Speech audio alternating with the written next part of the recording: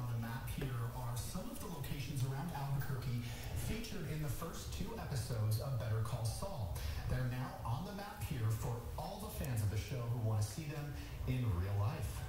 Really clear to me, frankly. Uh, I'm looking for guilty people to represent me. Recognize this Albuquerque restaurant?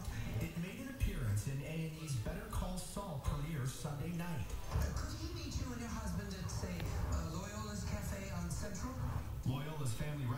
Central, now one of the many locations around Albuquerque on this Google map made by fan Patrick Jones.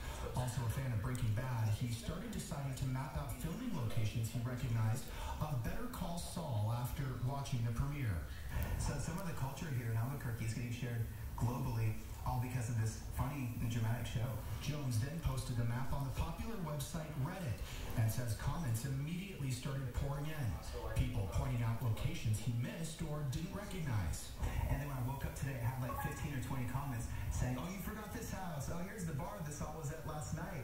And all of these things. So I added in this morning when I got out of bed. It was so cool.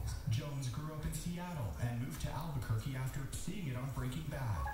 He hopes his map draws in fans of Better Call Saul who want to visit the show's locations. For as many people that there are in Albuquerque that want to go visit these locations, there's people driving through town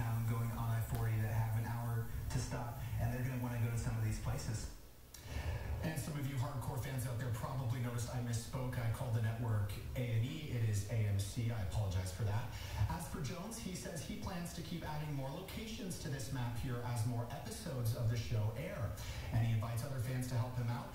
You can do that by visiting our website. We posted a link to the map on KOB.com. Back to you. Thanks, guy. Stay safe.